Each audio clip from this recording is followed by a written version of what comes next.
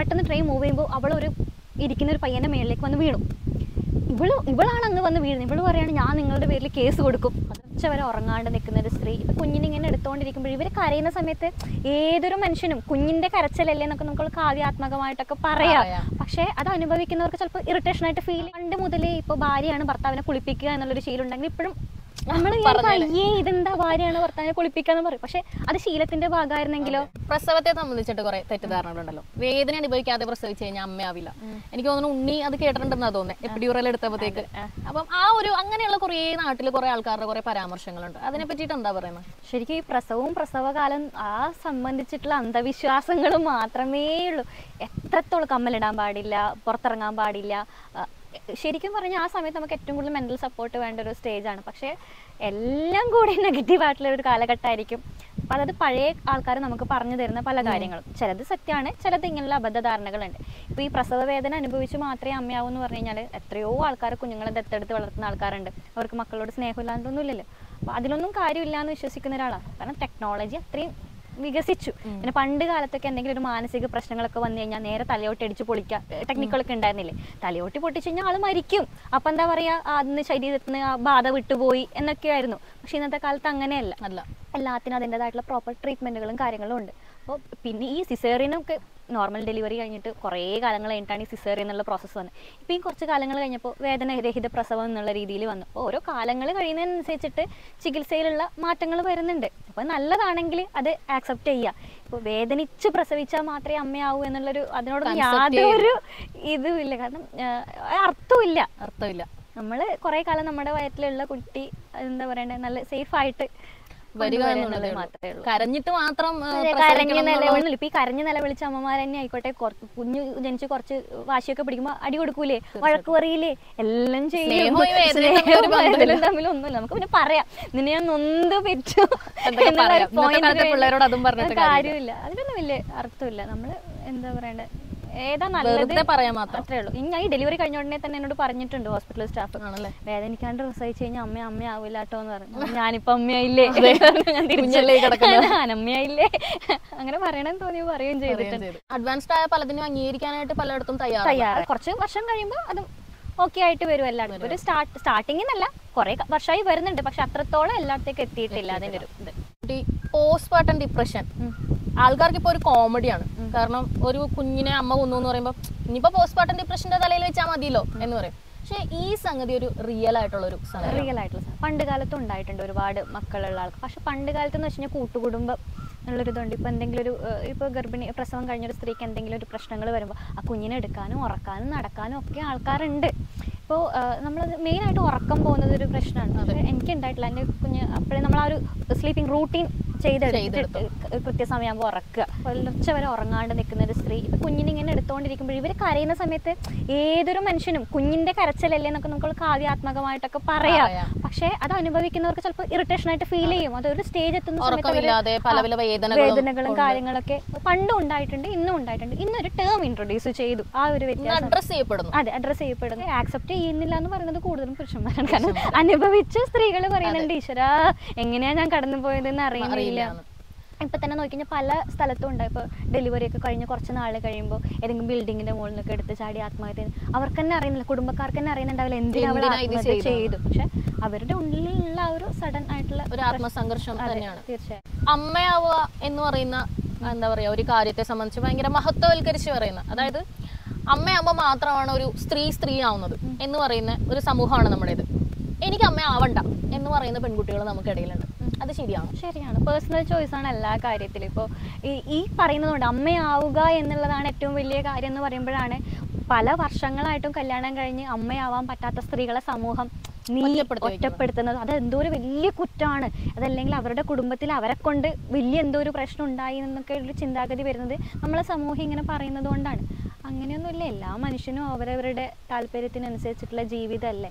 സ്ത്രീകൾ my body my choice ഞാൻ പ്രസവം ഗർഭം ധരിക്കണോ എന്നുള്ളത് എന്റെ മാത്രം ചോയ്സ് ആണെന്ന് പറയുമ്പോഴത്തേക്ക് ആൾക്കാർ പറയും അതങ്ങനല്ല. അത് അതെങ്ങനെ ശരിയാവണത്? എന്ന് പറയും. പക്ഷെ അത് ശരിയാണോ? എന്താണ് ലീഗലിയും അത് ആണ് ലീഗലിയും കറക്റ്റാണ് ലീഗലി ആക്സെപ്റ്റബിൾ ആയിട്ടുള്ള ഒരു സംഭവമാണ്. അതായത് ഞാൻ ഒരു കുഞ്ഞിനെ പ്രസവിക്കണോ എന്നുള്ളത് സ്ത്രീകളുടെ അവകാശമാണ് എന്നുള്ളത്. ഇത് പക്ഷേ പഠിപ്പിക്കുന്നുണ്ട് കേട്ടോ സ്കൂളിലൊക്കെ ഈ കാര്യങ്ങൾ പഠിപ്പിക്കുന്നുണ്ട്. പക്ഷെ ഇല്ല. അത് കാരണം അതിലൊന്നും കാര്യമില്ല എന്നുള്ള രീതിയിൽ. അത് ഈ നേരത്തെ പറഞ്ഞതുപോലെ തന്നെ ആ ഒരു ഇമോഷണലി ഫിസിക്കലി ഈ എന്റെ ഡെലിവറി കഴിഞ്ഞ സമയത്ത് ഞങ്ങളൊരു കുറേ ഗ്രൂപ്പുകൾ ഉണ്ടായിരുന്നു. ഡോക്ടർമാരും അങ്ങനെയൊക്കെയുള്ള ഗ്രൂപ്പുകൾ ഫേസ്ബുക്കിലൊക്കെ ഉണ്ടാവുമല്ലോ. അപ്പോൾ അതിൽ പല കുട്ടികളും പറയുന്നത് വെച്ച് കഴിഞ്ഞാൽ ചെറിയ പ്രായത്തിൽ കല്യാണം കഴിച്ചു വിടുന്ന കുട്ടികളുണ്ടല്ലോ. ഇപ്പോഴും ഉണ്ട്. അവർ ചിലപ്പോൾ പതിനാറാമത്തെ വയസ്സിലാണ് പ്രസവിക്കുന്നത്. കണ്ടിന്യൂസ് ആയിട്ട് പ്രസവിക്കുന്ന ആൾക്കാരുണ്ട്. ഇപ്പൊ ഈ ഇരുപത്തൊന്നാമത്തെ വയസ്സാകുമ്പോഴേക്കും ഒരു അഞ്ച് മക്കളൊക്കെ ഉള്ള പെൺകുട്ടികളുണ്ട്. അവരെ സംബന്ധിച്ചിടത്തോളം അത് അവർ ഫോഴ്സ് ചെയ്യപ്പെടാണ് അവർക്ക് പറയാൻ പറ്റുന്നില്ല. അവരിങ്ങനെ ആ ഒരു ഒരു കുട്ടി അതിൽ എഴുതിയിട്ടുള്ള ഞാൻ വായിച്ചതാണ്. ആ കുട്ടി സ്വന്തമായിട്ട് അതായത് എനിക്ക് എന്റെ വീട്ടിൽ പറയാൻ പറ്റില്ല. എനിക്ക് ഇനി പ്രസവിക്കണ്ട. എന്നെ കൊണ്ട് പറ്റുന്നില്ല. എന്റെ ശരീരം എത്രത്തോളം ഈ പ്രസവിക്കുന്ന മാത്രമല്ല ബുദ്ധിമുട്ട്. ഈ അഞ്ച് കുട്ടികളുണ്ടെങ്കിൽ അഞ്ച് കുട്ടികളെ നോക്കണ്ടേ. അതെ. ഇവരെ സംബന്ധിച്ചിട്ടുള്ള ഒരു കാര്യമാണ്. അപ്പോൾ ഈ കുട്ടി ഡോക്ടറെ അടുത്ത് പറയാണ് അതായത് എന്റെ പ്രസവം നിർത്തണം. പക്ഷെ നിങ്ങൾ എന്റെ വീട്ടിൽ പറയരുത്. എനിക്ക് അത് ഇങ്ങനെ യാചിക്കുന്ന പോലെ ആ കുട്ടി പറയണം. അങ്ങനെയുള്ള പല സിറ്റുവേഷൻസും സിറ്റുവേഷൻ നമ്മളെ നാട്ടിലുണ്ട്. എന്തൊക്കെ പറഞ്ഞു കഴിഞ്ഞാൽ നമ്മൾ എത്ര ഒരു കുറച്ച് ആൾക്കാർ മാത്രമേ എല്ലാ കാര്യങ്ങളും എല്ലാ ഫെസിലിറ്റീസും കിട്ടിയിട്ട് ഇഷ്ടം പോലെ പ്രിവിലേജിന്റെ ഉള്ളിൽ ജീവിക്കുന്നുള്ളൂ. അതില്ലാത്ത ഒരുപാട് ആൾക്കാരുണ്ട്. അപ്പൊ അവർക്കൊക്കെയാണ് ഇങ്ങനെയുള്ള നിയമങ്ങളും അവരെ കുറിച്ചിട്ടാണ് ഇങ്ങനെയുള്ള കാര്യങ്ങൾ പറയുന്നത്. അപ്പൊ പ്രിവിലേജിൽ ഇരിക്കുന്ന ആൾക്കാർ അതിനെപ്പറ്റി അതൊന്നും കാര്യമില്ല എന്ന് പറഞ്ഞിട്ട് കാര്യമില്ല. പക്ഷെ മറ്റുള്ളവർക്ക് സംസാരിക്കാനും പറ്റുന്നില്ല. അവർക്കൊരു അവസരമേ ഇല്ല ചോയ്സ് ഇല്ല. തീർച്ചയായിട്ടും ഇത് ഇങ്ങനെ തന്നെയാണ്. അല്ലെ? ഒരു അമ്മയാവുക എന്നത് ഒരു കംപ്ലീറ്റ്നെസ് അതാണെന്ന് പറയാൻ പറ്റില്ല. തെരഞ്ഞെടുക്കേണ്ടവർക്ക് തെരഞ്ഞെടുക്കാം. ഇതുമായിട്ട് കണക്റ്റഡ് ആയിട്ടുള്ള ഒരു കാര്യം ഞാൻ ഉണ്ണിമായുടെ ഫേസ്ബുക്കിൽ കണ്ടത് സാറാസ് എന്ന് പറഞ്ഞ മൂവിനെ സപ്പോർട്ട് ചെയ്തു അതായത് ആഗ്രഹിക്കാത്ത ഒരു ഗർഭധാരണമാണെന്നുണ്ടെങ്കിൽ അത് വോട്ട് ചെയ്യാം. ഒരുപാട് ആളുകൾ അതിനെ എഗൈൻസ്റ്റ് വന്നൊരിതാ. എന്തൊക്കെ പറഞ്ഞാൽ അത് കുഞ്ഞാണ്. എന്തുകൊണ്ടാണ് ആ ഒരു മൂവിനെ സപ്പോർട്ട് ചെയ്യാൻ ആ, ആ ഒരു അതെന്താണ് ആ നിലപാട്? ആ മൂവിയിൽ പറഞ്ഞ കാര്യത്തിനോട് ഞാൻ പൂർണമായി യോജിക്കുന്നില്ല. അതായത് ആ മൂവിയിലെ ഹീറോയിൻ ഒരു ഡിറക്ഷൻ ആണ് എന്റെ ഫീൽഡ് ഫീൽഡ് എന്ന് പറഞ്ഞിട്ട് സിനിമ സംവിധാനം ചെയ്യാൻ വേണ്ടിയിട്ട് കുഞ്ഞിനെ വേണ്ടാന്ന് വെക്കാണ്. അതിനോട് ഞാൻ പൂർണമായിട്ടും യോജിക്കുന്നില്ല. കാരണം അവിടെയും നമുക്ക് വേണമെങ്കിൽ നമുക്ക് പ്രൊഫഷണൽ ആയിട്ട് എടുക്കാം എടുക്കാം. ചെയ്യാം. അതായത് ഒന്ന് രണ്ട് വർഷം കഴിഞ്ഞിട്ടും എനിക്ക് ഫീൽഡ് അപ്പൊ ആ ഒരു പോയിന്റിനോട് ഞാൻ യോജിക്കുന്നില്ല. പൂർണമായിട്ട് യോജിക്കുന്നില്ല. അതല്ലാണ്ട് ഇപ്പൊ ഞാൻ മുന്നേ പറഞ്ഞതുപോലെ ഇപ്പോൾ ഈ പല ഫിസിക്കൽ ആയിട്ടുള്ള പ്രശ്നങ്ങൾ കൊണ്ടും ഫിനാൻഷ്യൽ ആയിട്ടുള്ള പ്രശ്നങ്ങൾ കൊണ്ടും മെന്റൽ ഇഷ്യൂസ് കൊണ്ട്. വേണ്ട. എന്ന് തോന്നുകയാണെങ്കിൽ വേണ്ട. അതൊരു കുഞ്ഞ് ജനിച്ചിട്ട് അതിനെ ടോർച്ചർ ചെയ്ത് അതിനെ കൊല്ലാക്കൊല ചെയ്യുന്നതിനേക്കാളും ഭേദമാണ് കുഞ്ഞ് വേണ്ട എന്താ പറയുക ഒരു അനിവാര്യമായ ഒരു ഒരുപാട് അൺവാണ്ടഡ് ചൈൽഡ് ഒരുപാട് അനാഥാലയങ്ങൾ.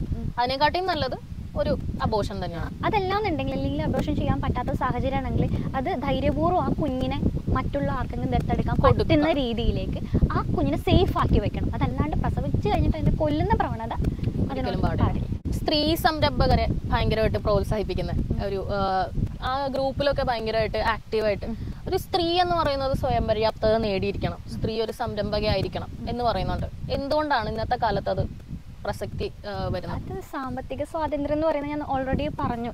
നമ്മളിപ്പോൾ എന്തൊക്കെ ചെയ്ത് കഴിഞ്ഞാലും ഇപ്പോൾ ഞാൻ ജോലിയൊന്നും ചെയ്യാത്തൊരു വ്യക്തിയാണ്. ഞാൻ എന്റെ കുടുംബത്തിന് വേണ്ടി അത്രയും അങ്ങേയറ്റം രാവിലെ അഞ്ച് മണി കഴിഞ്ഞിട്ട് കുട്ടിയുടെ കാര്യങ്ങൾ നോക്കി ഭർത്താവിന്റെ കാര്യം നല്ലൊരു നമ്മളെ സമൂഹം പറയുന്ന ഒരു പെർഫെക്റ്റ് വീട്ടമ്മയായിട്ട് ജീവിച്ചൊരു വ്യക്തിയാണെന്ന് ഇരിക്കാം ഒരു കാലഘട്ടം കഴിയുമ്പോൾ മറ്റൊരാൾ ചോദിക്കും നീ എന്താ ചെയ്തിട്ടുള്ളത്? അവർ ഇത്രയും കാലം ചെയ്തുകൊണ്ടിരിക്കുന്ന അല്ലെങ്കിൽ അവരുടെ ജീവിതം തന്നെ കുടുംബത്തിന് വേണ്ടി സമർപ്പിച്ച് കഴിഞ്ഞാൽ അതൊന്നും കാണാൻ ആൾക്കാരുണ്ടാവില്ല. ഒരു അർത്ഥമില്ലാണ്ടായിരിക്കും. അപ്പം അവനവന് വേണ്ട കാര്യം ഒന്നും വേണ്ട ഒരു മാസത്തിൽ അവനവ് വേണ്ട സാനിറ്ററി നാപ്കിൻ വാങ്ങിക്കാനുള്ള ഒരു പൈസയെങ്കിലും സ്വന്തമായിട്ട് ഏൺ ചെയ്യാം. അത്രേ ഉള്ളൂ.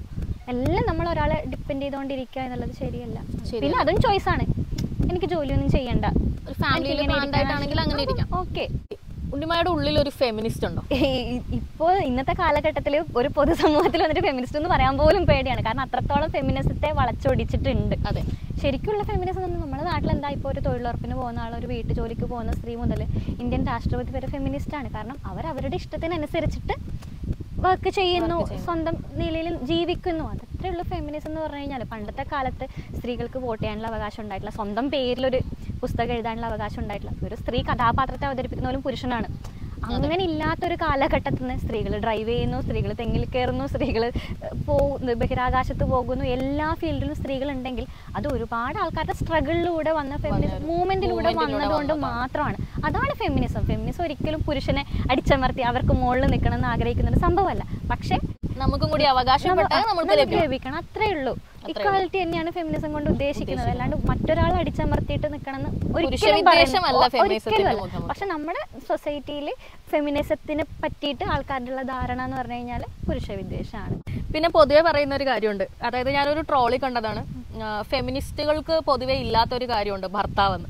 അതായത് ഒരു ഫെമിനിസ്റ്റിന് ഒരു കുടുംബജീവിതം മുന്നോട്ട് കൊണ്ടുപോകുന്നത് സാധ്യമല്ല എന്ന് പറഞ്ഞു കേൾക്കുന്നുണ്ട് അത് ശരിയാണെന്ന് തോന്നുന്നുണ്ടോ? അനുഭവത്തിൽ ഞാൻ പറഞ്ഞ സ്യൂഡോ ഫെമിനിസം കൊണ്ട് നടക്കുന്ന ആൾക്കാർക്ക് ഇത് സാധ്യമാവും. അത് എന്തിനും ഏതിനും മെക്കിട്ട് കയറുന്ന ഒരു സ്വഭാവം വരുന്ന സമയത്ത് ഒരു സ്ത്രീയും പുരുഷനും തമ്മിൽ വിള്ളൽ വരും. അതേ സമയത്ത് എല്ലാ കാര്യങ്ങളും നല്ല സപ്പോർട്ട് ഒരു ഇണ. പാർട്ട്ണർ അത്രേ ഉള്ളൂ. അത് പരസ്പരം നല്ല സപ്പോർട്ടും കാര്യങ്ങളൊക്കെ ഉണ്ടെങ്കിൽ എന്താണെങ്കിലും കുടുംബജീവിതമൊക്കെ സാധ്യമാണ്. പരസ്പരം റെസ്പെക്റ്റ് വേണം. പരസ്പരം രണ്ട് വ്യക്തികൾ തമ്മിലാണ് ഒരുമിച്ച് ജീവിക്കുന്നത്. അപ്പോൾ രണ്ടാൾക്കും ഒരേ അഭിപ്രായമായിരിക്കില്ല ഒരേ ഇഷ്ടങ്ങളായിരിക്കില്ല. രണ്ട് വ്യത്യസ്ത സാഹചര്യങ്ങളിൽ ജീവിച്ചു വരുന്നത്. പരസ്പരം മനസ്സിലാക്കുക. അത്രേ ഉള്ളൂ. പരസ്പരം റെസ്പെക്റ്റ് കൊടുത്താൽ തന്നെ ഏതൊരു ബന്ധവും നല്ല രീതിയിൽ മുന്നോട്ട് കൊണ്ടുപോകും. അവിടെ ഫെമിനിസം ഒന്നും അങ്ങനെ ഒന്നുമില്ല നമ്മളിങ്ങനെ ഓവറായിട്ട് എടുക്കുന്ന നിലപാടുകളും ഓവറായിട്ട് വരാതിരുന്നാൽ മാത്രം. ആദർശങ്ങളും നിലപാടുകളും ശരിയായ ആദർശങ്ങളും നിലപാടുമായിട്ട് കൊണ്ടുപോകണമെങ്കിൽ പ്രശ്നമില്ല. ഇപ്പം ഞാൻ ഒരു എക്സ്പീരിയൻസ് പറയുകയാണെങ്കിൽ ഒരു പ്രാവശ്യം ട്രെയിനിൽ പോകുന്ന സമയത്ത് ഞങ്ങൾ കുറേ ഫ്രണ്ട്സൊക്കെ ആയിട്ട് ട്രെയിനിൽ പോവാം. കുറച്ച് ബോയ്സ് ഉണ്ട് കുറച്ച് ഗേൾസ് ഉണ്ട്. അപ്പോൾ ഒരു കുട്ടി പെട്ടെന്ന് ട്രെയിൻ കയറി വന്നു. പെട്ടെന്ന് ട്രെയിൻ മൂവ് ചെയ്യുമ്പോൾ അവൾ ഒരു ഇരിക്കുന്ന ഒരു പയ്യന്റെ മേളിലേക്ക് വന്ന് വീണു. ഇവൾ ഇവളാണ് അങ്ങ് വന്ന് വീഴുന്നത്. ഇവൾ പറയാണ് ഞാൻ നിങ്ങളുടെ പേരിൽ കേസ് കൊടുക്കും. അതെന്തിനാണ്? ആ ഞാൻ നിങ്ങളുടെ പേരിൽ കേസ് കൊടുക്കും എന്നൊക്കെ പറഞ്ഞ് അങ്ങനെ ഇരിക്കുക ഇതെന്താ സംഭവിച്ചത് ഇപ്പൊ ഇവിടെ എന്താ സംഭവിച്ചത് അപ്പൊ അവക്കറിയാം അവർക്ക് ഒരുപാട് റൈറ്റ്സുകൾ ഉണ്ട് ദുരുപയോഗം അത് ദുരുപയോഗപ്പെടുന്നുണ്ട് ഈ പയ്യൻ ഇങ്ങനെ ഞാനൊന്നും ചെയ്തില്ലല്ലോ. എന്റെ വെക്കിട്ട് വന്ന് വീണിട്ട് ഇവിടെ എന്തിനാ എന്നോട് അപ്പൊ അങ്ങനെയുള്ള പല കാര്യങ്ങളും നമ്മുടെ നാട്ടിൽ നടക്കുന്നത് നടക്കുന്നുണ്ട്. ഒരുപാട് കൊണ്ടാണ് ഫാബ്രിക്കേറ്റഡ് ആയിട്ടുള്ള കാര്യങ്ങൾ. ഫെമിനിസത്തിന്റെ പേരും പറഞ്ഞാണ് അതെ അതെ ചെയ്യുന്നത്. അതെ. അങ്ങനെ വരുന്നത് കൊണ്ടാണ് ഈ ഫെമിനിസം എന്നുള്ളത് ഒരു മോശം ടേം ആയിട്ടും ഫെമിനിസ്റ്റുകൾ ഞാൻ അങ്ങനെ ഫെമിനിസ്റ്റ് എന്ന് പറഞ്ഞ് നടക്കുന്ന ഒരാളൊന്നുമല്ല പക്ഷെ എന്റെ ആശയങ്ങളും അതെന്നെ സപ്പോർട്ട് ചെയ്യുന്ന ഒരു ഫാമിലി ആ ഒരു രീതിയിൽ വളർന്നു വന്നുകൊണ്ട് പിന്നെ ഹസ്ബൻഡ് പിന്നെ പുള്ളി ഫെമിനിസ്റ്റ് ആണ്. ആണുങ്ങൾ ഫെമിനിസ്റ്റ് ആണല്ലോ. തീർച്ചയായിട്ടും. പെണ്ണുങ്ങളിൽ നല്ല ഒന്നാം തരം ഷോണിസ്റ്റുകളുണ്ട് അതേപോലെ തന്നെ ആണുങ്ങളിൽ നല്ല ഫെമിനിസ്റ്റുകളുണ്ട് അപ്പൊ ഈ ഒരു ആദർശ ഈ യഥാർത്ഥ അന്തസത്ത എന്താണെന്ന് ആളുകൾക്ക് കിട്ടാത്തത് കൊണ്ടാണ് ഇതിനൊരു ചീത്തപ്പേര് വന്നത്. തീർച്ചയായിട്ടും. ഇപ്പൊ എത്രയോ ഇപ്പോ ഇന്നത്തെ കാലഘട്ടത്തിൽ കുറവാണ് എല്ലാ പുരുഷന്മാരും അല്ലെങ്കിൽ പാർട്ട്നേഴ്സ് പുരുഷൻ സ്ത്രീ എന്ന് ഞാൻ പറയുന്നില്ല.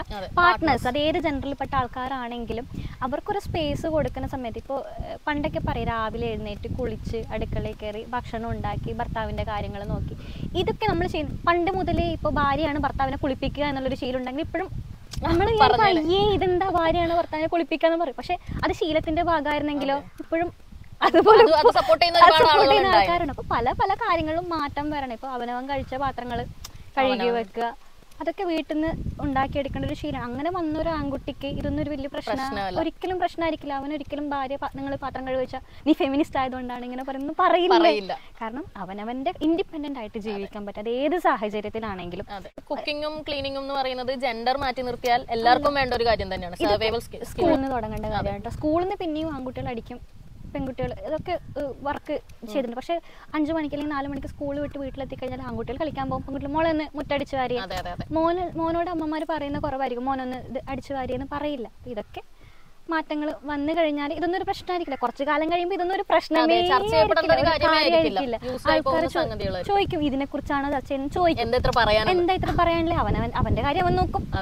ആ ഒരു രീതിയിലേക്ക് മാറും. പൊതുവെ ഇവിടെ ഷോവനിസ്റ്റുകൾ ഉണ്ടാവുന്നത് അല്ലെങ്കിൽ ഒരു ഒരു മസ്കുലർ മെന്റിനെ സൃഷ്ടിക്കുന്നത് അവരുടെ അമ്മമാരാണ് എന്നൊരു പറച്ചിലുണ്ട്. അപ്പം ഒരു മകന്റെ അമ്മ എന്ന നിലയിൽ ചോദിക്കട്ടെ. ഒരു ആൺകുട്ടിയെ വളർത്തിക്കൊണ്ട് വരുന്നതിൽ അവരുടെ അമ്മയുടെ പങ്ക് എന്താണ് ഞാൻ എനിക്ക് മോനാണെന്ന് അറിഞ്ഞ ജനിച്ചപ്പോൾ മുതൽ ഞാൻ അതായത് ആൺകുട്ടി എന്നത് കൊണ്ട് തന്നെ അവനൊരു സ്പെഷ്യൽ ഒരു പ്രിവിലേജും ഇല്ല. അത് ഞാൻ ആക്സെപ്റ്റ് ചെയ്തു. ഞാൻ കുഞ്ഞ് ജനിച്ച് കുറച്ച് ദിവസത്തിനുണ്ട് അവനെ കൊണ്ട് അടുക്കളയിൽ പോയപ്പോൾ അമ്മമ്മ പറഞ്ഞിട്ടുണ്ടായിരുന്നു ആൺകുട്ടീനെയും കൊണ്ടാണ് അടുക്കളയിൽ കയറുന്നത് അത് അവരുടെ ജനറേഷൻ വെച്ച് നോക്കുന്ന സമയത്ത് അയ്യോ അതൊക്കെ അക്സെപ്റ്റബിൾ അല്ല. പക്ഷെ ഇന്നത്തെ കാലത്ത് അങ്ങനെയൊന്നുമില്ല. നമ്മൾ മാക്സിമം കുട്ടികൾ ഇൻഡിപെൻഡന്റ് ആയി ഇവൻ ഇപ്പൊ എല്ലാ സമയത്തും അമ്മമാർക്ക് മക്കളെ പൊതിഞ്ഞു കെട്ടി ജീവിക്കാൻ പറ്റില്ല. കുട്ടി പഠിക്കാൻ പോകുന്ന സമയത്താണെങ്കിലും ബാക്കിയുള്ള കാര്യത്തിലാണെങ്കിലും എന്തായാലും ഒറ്റയ്ക്ക് ജീവിക്കണം. ഇപ്പൊ പല ആൾക്കാരും പല പ്രായമായിട്ടുള്ള ആൾക്കാരും ഇപ്പൊ ഭാര്യയ്ക്ക് എവിടെയെങ്കിലും പോകണമെങ്കിൽ ഭാര്യ പറയും അയ്യോ ഒരു ചായ പോലും ഇട്ട് കുടിക്കാൻ പറ്റില്ല. ഞാനുണ്ട്. അതുകൊണ്ട് ഞാൻ വീട്ടിൽ തന്നെ ഉണ്ടായിരിക്കണം. എനിക്കൊരു ലോകമോ ഒരു ജീവിതമോ ഇല്ല. അങ്ങനെ ജീവിക്കുന്ന ഒരുപാട് ആൾക്കാരില്ലേ. അതിങ്ങനെ പറ്റില്ല. ഇൻഡിപെൻഡന്റ് ആയിട്ട് ജീവിക്കാൻ. പഠിപ്പിക്കുക. ആണായാലും. പെണ്ണായാലും ഏത് ഒരു ജനറൽ കഴിഞ്ഞാൽ. ആൺകുട്ടി എന്ന് പറഞ്ഞതിനെ കൊണ്ട് ഒരു വലിയ സംഭവമാണെന്നുള്ള പറഞ്ഞിട്ട് വളർത്തേണ്ട കാര്യം ഒരിക്കലും ഇല്ല. അല്ലെങ്കിൽ മോൻ കരയാൻ പാടില്ല കേട്ടോ നീ ആൺകുട്ടി അങ്ങനെ ഒന്നും ഒരിക്കലും പറയാൻ പാടില്ല. എല്ലാ മനുഷ്യനും ഇമോഷൻസ് ഉണ്ട്. സങ്കടം വന്നാൽ കരയണം. അങ്ങനെയാണ്. വ്യക്തിയെ വളർത്തിയെടുക്കുക. അത് ആണാണോ പെണ്ണാണോ ഏത് ജനറൽ ആയിക്കോട്ടെ ഇൻഡിപെൻഡന്റ് ആയിട്ട് വ്യക്തി സ്വാതന്ത്ര്യത്തോടു കൂടി സ്വന്തം കാലിൽ നിൽക്കാൻ പറ്റുന്ന രീതിയിൽ വളർത്തിയെടുക്കുക. ഒരു ലാസ്റ്റ് ഒരു റീൽ കണ്ടത് കുഞ്ഞ് കുഞ്ഞാണ്. അപ്പം കളിച്ചു കഴിഞ്ഞിട്ട് അതിന്റെ കളിപ്പാട്ടമൊക്കെ അത് തന്നെ എടുത്ത് അടുക്കി വെക്കുന്നു. അപ്പം ഈ പാരന്റിങ് എന്ന് പറയുന്ന ഒരു സംഗതി അച്ചടക്കം പഠിപ്പിക്കുക അല്ലെങ്കിൽ ഡിസിപ്ലിൻ പഠിപ്പിക്കുക സ്വന്തം കാര്യങ്ങൾ സ്വന്തമായിട്ട് ഇത് ഈ ഒരു പ്രായത്തിൽ ചെയ്തു തുടങ്ങുന്ന ഒരു സംഗതിയാണ്. അങ്ങനെ അച്ചടക്കം പഠിപ്പിക്കുക എന്നുള്ള ഉദ്ദേശം കൊണ്ടൊന്നും അല്ല. ഏത് കാര്യമായിക്കഴിഞ്ഞാലും ഒരു മൂന്ന് വയസ്സിനുള്ളിൽ നമ്മൾ കുഞ്ഞിനെ പഠിപ്പിക്കുന്ന പോലെ ഇരിക്കും കാര്യങ്ങൾ. ഓക്കെ.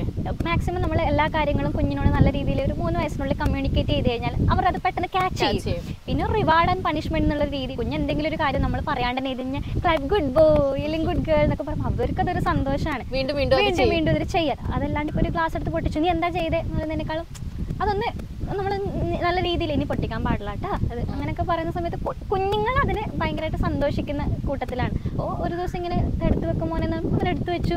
അതിന് ഞാൻ നല്ല രീതിയിൽ ക്ലാപ്പ് ചെയ്ത് സന്തോഷിപ്പിച്ചു. പിറ്റേ ദിവസം കളിക്കുന്ന ചെയ്യാൻ സമയത്ത് അവൻ തുടങ്ങി. ചെയ്യാൻ തുടങ്ങി. അങ്ങനെയുള്ള കുഞ്ഞു കുഞ്ഞു കാര്യങ്ങളിലൊക്കെ പാരന്റിങ് എന്ന് പറയുന്നത് പിള്ളേരങ്ങ് വളർന്നോളും. അങ്ങനെയല്ല. അല്ല ശരിക്കും പറഞ്ഞാൽ നമ്മൾക്ക് ഒന്നുമില്ല പാരന്റിങ് എന്ന് പറഞ്ഞൊരു സംഭവം ഇല്ലെന്ന് ഞാൻ വിശ്വസിക്കും കാരണം കുഞ്ഞ് ജനിക്കുമ്പോഴാണ് അമ്മ ജനിക്കുന്നതും അച്ഛൻ ജനിക്കുന്നതും. ഇപ്പോൾ നമ്മളൊരു കാര്യം നമ്മൾ തെറ്റുകളിൽ നിന്നാണ് പഠിക്കുന്നത് ഇപ്പോൾ ഞാൻ എന്തെങ്കിലും കുഞ്ഞിന് പെട്ടെന്ന് വഴക്ക് പറഞ്ഞ് എനിക്കൊരു റിയലൈസേഷൻ വരും. ഞാൻ അങ്ങനെയല്ല ചെയ്യേണ്ടത്. കാരണം ഞാൻ കുറച്ചും കൂടി മുതിർന്നൊരു വ്യക്തിയാണ്. ഞാൻ ഈ ചെയ്ത് തെറ്റായിപ്പോയി. ഞാനിത് തിരുത്തണം. അപ്പം അമ്മയും പുതിയ പുതിയ അല്ലെങ്കിൽ അമ്മയോ അച്ഛനോ പുതിയ പുതിയ കാര്യങ്ങൾ പഠിച്ചുകൊണ്ടേയിരിക്കുന്നു നമ്മളൊരു ബുക്ക് വെച്ച് ഇങ്ങനെ വളർത്തണം. അങ്ങനെ അതുമായിട്ട് ബന്ധപ്പെട്ട ഒരു കാര്യം തന്നെ പറയട്ടെ. ഇപ്പം കൂടുതൽ ചൈൽഡ് അബ്യൂസ് പീഡോഫിലിയൊക്കെ ആയിട്ടുള്ള ഒരുപാട് ആളുകൾ നമ്മുടെ നാട്ടിലുണ്ട്. പണ്ടും ഉണ്ടായിരുന്നിരിക്കാം പക്ഷെ ഇപ്പോഴാണ് അവരെല്ലാം ഫ്രെയിമിലേക്ക് വരുന്നത്. അപ്പം കുഞ്ഞിന് സ്വയമേ അതിനകത്ത് നിന്ന് രക്ഷ നേടാനായിട്ടാണ് സെക്സ് എഡ്യൂക്കേഷൻ എന്ന് പറഞ്ഞൊരു സംഗതി. നമുക്കിവിടെ അവൈലബിൾ അല്ല.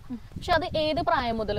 ആൺകുട്ടിയാവട്ടെ പെൺകുട്ടിയാവട്ടെ കൊടുത്തു തുടങ്ങുന്നതാണ് ക്ലാസ് തൊട്ട് നഴ്സറി ക്ലാസ് തൊട്ട് തന്നെ വേണം. കാരണം നഴ്സറി ക്ലാസ്സിലും പോകുന്ന കുട്ടികൾ അബ്യൂസ് ചെയ്യപ്പെടുന്നുണ്ട്. ഇപ്പൊ എന്ത് കാര്യങ്ങളും വീട്ടിൽ വന്ന് കുഞ്ഞുങ്ങൾക്ക് പറയാനുള്ളൊരു സാഹചര്യം ഉണ്ടാവണം. ഇന്നത്തെ കാലത്ത് കൂടുതൽ വരുന്നു എന്ന് പറഞ്ഞു കഴിഞ്ഞാൽ ഇന്നത്തെ കാലത്ത് റിയാക്ട് ചെയ്യാൻ തുടങ്ങിയത് കൊണ്ട് പുറത്തേക്ക് ന്യൂസുകൾ എത്തുന്നു. പണ്ട് കാലത്ത് ഇത് പറഞ്ഞ് നമ്മുടെ കുടുംബത്തിന് മോശമല്ലേ? നാണക്കേടല്ലേ? മാനക്കേടല്ലേ എന്നുള്ള രീതിയിൽ ചിന്തിക്കുന്നുണ്ട് മാത്രമാണ്. പണ്ടും ഇല്ലാഞ്ഞിട്ടൊന്നും അല്ല അതെ. ഇപ്പോൾ റിയാക്ട് ചെയ്യുന്നു. അതായത് അവർക്ക് ശിക്ഷ വാങ്ങി കുഞ്ഞുങ്ങൾ തന്നെ ഇപ്പോൾ ചൈൽഡ് ലൈൻ നമ്പേഴ്സും കാര്യങ്ങളൊക്കെ ഉള്ളതുകൊണ്ട് സ്കൂളുകളിലെ കുട്ടികളെ കുട്ടികൾ വിളിക്കാൻ തുടങ്ങിയിട്ട് അതും ദുരുപയോഗപ്പെടുത്തുന്ന ഒരുപാട് കാര്യങ്ങളുണ്ട്. ഏതെങ്കിലും ടീച്ചേഴ്സിനോട് ദേഷ്യമുള്ള കുട്ടികൾ ചൈൽഡ് ലൈനിലേക്ക് വിളിച്ചിട്ട് ഇങ്ങനെ റിപ്പോർട്ട് ചെയ്യുന്നുണ്ട്.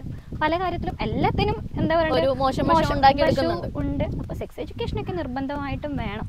സ്കൂളുകളിൽ തന്നെ കൊടുക്കേണ്ട ഒരു സംഗതി വീട്ടിൽ നിന്ന് എത്രത്തോളം നമ്മൾ അത് കൊടുക്കണം? വീട്ടിൽ നിന്ന് കൊടുക്കേണ്ട കാര്യം തന്നെയാണ്. ഇപ്പം ഞാൻ രണ്ട് മൂന്ന് വർഷം മുമ്പ് ഒരു ആൺകുട്ടിയെ ഫിസിക്കലി അബ്യൂസ് ചെയ്ത് ഒരു കഥ ഒരു ഷോർട്ട് സ്റ്റോറി എഴുതിയിട്ടിട്ടുണ്ടായിരുന്നു. ആ, എന്റെ അമ്മ ഞാൻ പറഞ്ഞില്ല പബ്ലിക് പ്രോസിക്യൂട്ടർ ആയിരുന്നു. അപ്പോൾ ഞങ്ങളൊന്നും ചെറുപ്പത്തിൽ എവിടെയും കളിക്കാൻ പോകാൻ വിടൂല. കാരണം അമ്മേന്റെ മുന്നിൽ വരുന്നത് ഓരോ ദിവസവും. ഇങ്ങനത്തെ കേസുകളാണ് അത് അച്ഛൻ ഉപദ്രവിക്കുന്നുണ്ടാവും അമ്മായി ഉപദ്ര മീൻസ് റിലേറ്റീവ്സ് ഉപദ്രവിക്കുന്നുണ്ടാവും. കാരണം ഇവർ ദിവസേന ഒരുപാട് കേസുകൾ കണ്ട് കണ്ട് കണ്ട് എന്റെ ഒന്നും ചെറുപ്പത്തിൽ കളിക്കാൻ പോകാൻ വിടുകയില്ല നിങ്ങൾ ഉദ്ദേശിക്കുന്ന പോലെ എല്ലാ കാര്യങ്ങളിൽ നിന്നാണ് പറയുന്നത്. അപ്പൊ ഒരു പ്രായം എത്തുമ്പോഴാണ് നമുക്ക് ഇതിന്റെ റിയാലിറ്റി മനസ്സിലാവുക. ഇതുകൊണ്ടാണ്. ഞാൻ എന്താ കളിക്കാൻ പോയാൽ? എന്നുള്ളത് ചെറുപ്പത്തിൽ വിചാരിക്കുള്ളൂ. പക്ഷെ വലുതാകുമ്പോൾ അതിന് മനസ്സിലായി. അപ്പോൾ അമ്മ പറഞ്ഞൊരു കാര്യം വെച്ചിട്ട് ആൺകുട്ടികളെയും ഉപദ്രവിക്കുമെന്ന് തിരിച്ചറിഞ്ഞൊരു പ്രായത്തിൽ അതിനെ പറ്റിയിട്ട് ഒരു ഷോർട്ട് സ്റ്റോറി എഴുതി. ആ ഷോർട്ട് സ്റ്റോറിയുടെ താഴെ എണ്ണൂറോളം കമന്റുകൾ ഉണ്ടായിരുന്നു. ആ കമന്റുകളിൽ പലതും പറഞ്ഞിരിക്കുന്നത് ആമ്പിള്ളേരാണ്. എന്റെ ചെറുപ്പത്തിൽ എനിക്ക് ഇങ്ങനത്തെ എക്സ്പീരിയൻസ് ഉണ്ടായിരുന്നു. ഈ ഒരു നൂറാളെ വിളിച്ചിട്ട് എന്തെങ്കിലും ഒരു ചൈൽഡ് അബ്യൂസിന്റെ കാര്യം പത്ത് പത്ത് ഏറ്റവും കുറഞ്ഞ നമ്പർ എടുക്കാം. ഈ പത്ത് പേർക്കും അങ്ങനെയുള്ള ഉണ്ടായിട്ടുണ്ട്. പക്ഷെ അത് പുറത്ത് അല്ലെങ്കിൽ കുഞ്ഞുങ്ങളാവുന്ന സമയത്ത് അവരെ ഭീഷണിപ്പെടുത്താൻ എളുപ്പമല്ലേ? നീ ഇത് പറഞ്ഞു കഴിഞ്ഞാൽ നിന്നെ ഞാൻ അങ്ങനെ ചെയ്യും ഇങ്ങനെ ചെയ്യും എന്നൊക്കെ പറഞ്ഞ് ഇന്നത്തെ കാലത്ത് കുട്ടികൾ പിന്നെയും അതിനോട് ഞാൻ പറയും. അതല്ലെങ്കിൽ എന്നെ ചെയ്യാൻ പാടില്ല. അത് തെറ്റാണ് എന്നുള്ള ധാരണ കുഞ്ഞുങ്ങളുടെ ഇടയിൽ വന്നിട്ടുണ്ട്. പിന്നെയെന്ന് വെച്ച് കഴിഞ്ഞാൽ നമ്മുടെ കാലഘട്ടം കുറച്ച് മോശമായിട്ടുണ്ട്. എക്സ്പീരിയൻസ് ചെയ്യാനും അങ്ങനെ നിൽക്കുന്ന കുട്ടികളും ഉണ്ട്. ഇതെന്താ? ഇവരെന്നോട് ഇങ്ങനെ ചെയ്യാൻ പാടില്ല എന്ന് പറഞ്ഞിട്ടുണ്ടല്ലോ അതെന്താ? ചിന്തിക്കുന്ന അത് പ്രോപ്പർ സെക്സ് എഡ്യൂക്കേഷന്റെ കുറവ് തന്നെയല്ലേ? ഈ ഒരു കൗതുകം വരുന്നത്. പ്രതികൂലമായ ഒരു സാഹചര്യങ്ങളാണെങ്കിലും അവരുടെ സ്വപ്നങ്ങൾ എത്തിപ്പിടിക്കണം എന്ന് ആഗ്രഹിക്കുന്ന ഒരു വ്യക്തി. ആ വ്യക്തിയോട് എന്തായിരിക്കും പറയാനുണ്ടാവും നമ്മളുടെ മുൻപിൽ ഒരുപാട് തടസ്സങ്ങളുണ്ടാവും. പക്ഷേ എന്താ പറയുക ആവശ്യമാണ് സൃഷ്ടിയുടെ മാതാവ് എന്ന് പറയുന്നത് പോലെ എന്തിനും ഏതിനും നമ്മൾ ചിന്തിച്ചു കഴിഞ്ഞാൽ ഒരു സൊല്യൂഷൻ കിട്ടും. ഇപ്പം തന്നെ എല്ലാവരും എന്നോട് ചോദിക്കലുണ്ട്. ഞങ്ങൾ ഹസ്ബൻഡും ഞാനും കുട്ടിയും മാത്രമാണ് ഇവിടെ താമസം. അപ്പോൾ ഒരു വർക്ക് വന്നു കഴിഞ്ഞാൽ എങ്ങനെ പോകും അത്. ഞാനത് ഒരുപാട് ചിന്തിച്ചു. എനിക്കൊരു വർക്ക് വന്നാൽ ഞാൻ എങ്ങനെ ചെയ്യും? ഞാൻ ആരെന്റെ ആരെന്റെ മോനെ നോക്കും? ഞാൻ അങ്ങനെ വിചാരിച്ചിരുന്നതിനെ കൊണ്ട് ഒരു കാര്യമില്ല. അതിന് പകരം നമുക്ക് സൊല്യൂഷൻസ് നോക്കാം. ഡേ കെയറുകളുണ്ട് അല്ലെങ്കിൽ ഏതെങ്കിലും ഒരാൾ നമ്മൾ കൂടെ നിർത്താൻ പറ്റുന്ന നാട്ടിൽ നിന്നോ അങ്ങനെ ആരെങ്കിലും ജോലി എന്നുള്ള രീതിയിൽ കൂടെ നിർത്താൻ പറ്റുന്ന ഒരാളാണെങ്കിൽ ഷൂട്ടിന് പോകുമ്പോൾ കൂടെ കൊണ്ടുപോവാം. അപ്പം നമ്മൾ സൊല്യൂഷനെ കുറിച്ച് ചിന്തിക്കുമ്പോഴാണ് നമുക്ക് ഇങ്ങനെയുള്ള കാര്യങ്ങൾ വരുന്നത്. അപ്പോൾ എന്തൊക്കെ പ്രശ്നങ്ങളാണെന്ന് പറഞ്ഞാൽ എന്തൊക്കെ തടസ്സങ്ങൾ ഉണ്ടെന്ന് പറഞ്ഞു കഴിഞ്ഞാൽ നമ്മൾ ചിന്തിച്ചു കഴിഞ്ഞാൽ എല്ലാത്തിനും ഒരു പോംവഴി ഉണ്ടാവും. പിന്നെ എത്രത്തോളം ഓരോരുത്തരുടെ പ്രശ്നങ്ങളെന്ന് അറിയില്ല. അവനവൻ ചിന്തിക്കുമ്പോൾ അവനവന്റെ പ്രശ്നങ്ങൾ വലുതാണ്. അതെ തീർച്ചയായിട്ടും. ഇതുവരെ കണ്ടിട്ടില്ലാത്ത ഇപ്പൊ ഞാൻ പറഞ്ഞല്ലോ ഒരു സ്ത്രീ സംരംഭക ഒരു ആക്ട്രസ് ഒരു നർത്തകി ഒരു എഴുത്തുകാരി. ഇതൊന്നും അല്ലാതെ ഇനി ഏത് റോളിലായിരിക്കും ഉണ്ണിമായനെ കാണാൻ പറ്റുക? അങ്ങനെയൊന്നുമില്ല. എന്റെ എന്റെ എന്റെ ലൈഫിലെല്ലാം എനിക്ക് ആകസ്മികമായിട്ട് ആകസ്മികമായിട്ട് വന്ന് കിട്ടുന്നതാണ്. ഞാൻ ഒന്നും അങ്ങനെ ഒരു കാര്യത്തിലും ആഗ്രഹിച്ച് സ്വപ്നം കണ്ട് പക്ഷെ ആകസ്മികമായിട്ട് വന്നു കഴിഞ്ഞാൽ നല്ല രീതിയിൽ അതിനൊരു ഔട്ട്പുട്ട് കൊടുക്കാൻ വേണ്ടി എപ്പോഴും ശ്രമിക്കാറുണ്ട്. അതുകൊണ്ട് അറിയില്ല എല്ലാം ഒന്നിനോടൊരു എക്സ് ഓവർ എക്സ് എക്സ്പെക്ടേഷനോ കാര്യങ്ങളോ ഒന്നും ഞാൻ നേരത്തെ കല്യാണത്തെ കുറിച്ച് എല്ലാം കഴിഞ്ഞു. കല്യാണം കഴിഞ്ഞിട്ട് നമുക്ക് അങ്ങനെ ചെയ്യാം ഇങ്ങനെ അങ്ങനെ യാതൊരുവിധ എക്സ്പെക്ടേഷനോട് കൂടി ജീവിതത്തിലേക്ക് കടക്കാത്തതുകൊണ്ട് ഞങ്ങളുടെ ലൈഫ് അടിപൊളിയാണ്. അല്ലെങ്കിൽ നമുക്ക് പറയല്ലേ അന്ന് അങ്ങനെ പറഞ്ഞില്ലേ? ഓവറോൾ ഹാപ്പിയാണ് അതുകൊണ്ട്. ഹാപ്പിയാണ് തീർച്ചയായിട്ടും. അപ്പൊ എന്തായാലും ഇത്രയും നേരം ഞങ്ങൾക്ക് വേണ്ടി ടൈം സ്പെൻഡ് ചെയ്തതിന് വളരെയധികം നന്ദി. ഒരുപാട് സന്തോഷം. ഒരുപാട് കാര്യങ്ങൾ സംസാരിക്കാൻ വേണ്ടി പറ്റി. ഞാൻ തന്നെ ചിന്തിക്കുക ഞാൻ ഇങ്ങനെയൊക്കെ ആണോ? ആണോ? കാരണം നമ്മൾ കുറേ നാളായിട്ടേ ഇതിനെ കുറിച്ചൊന്നും സംസാരിക്കാൻ ഒരു വേദിയില്ല. ഇല്ല. ആരോഗ്യമായിട്ടുള്ള ഒരു ഇന്റർവ്യൂ അതാണ് ഞാൻ. ഉദ്ദേശിച്ചത്. അത് കിട്ടിയെന്ന് വിചാരിക്കുന്നു. ഒരുപാട് സന്തോഷം. ഒരുപാട് സന്തോഷം.